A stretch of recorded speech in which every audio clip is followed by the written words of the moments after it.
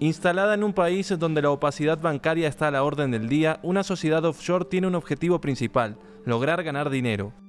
Esas firmas abren una empresa fantasma en un paraíso fiscal. La mayoría de las veces basta con un simple buzón de correo. Gracias a un sistema de testaferros, la identidad del individuo o de la empresa no aparece en ningún lado. Se crea una nueva cuenta bancaria y a continuación se pueden adquirir productos de todo tipo con total discreción, como inmuebles, aviones privados o yates.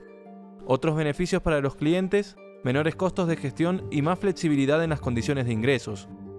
Estos paraísos fiscales existen en todo el mundo. Los más conocidos, Panamá, Islas Vírgenes Británicas o Belice. También hay estados territorios como Hong Kong y Singapur, y países europeos con Suiza y Chipre a la cabeza. Otros más sorprendentes, los estados de Nevada, Dakota del Sur y Delaware en Estados Unidos. ¿Pero todo esto es ilegal? No necesariamente. De hecho, la sutileza de estos montajes coquetea permanentemente con la legalidad. A esto se le llama optimización fiscal, lo cual no es objetable, a diferencia del blanqueo de capitales y la evasión fiscal.